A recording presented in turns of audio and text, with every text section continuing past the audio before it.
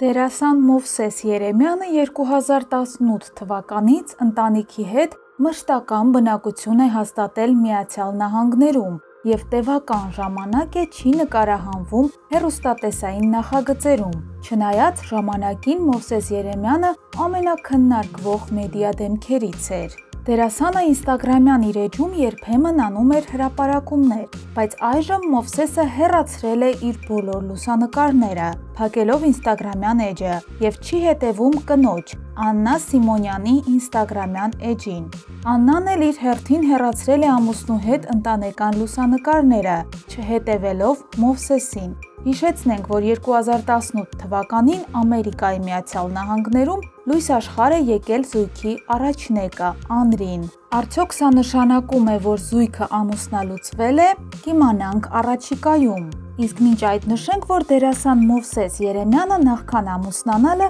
սիրավեպ ուներ դերասանուհի Անի Երանյանի հետ։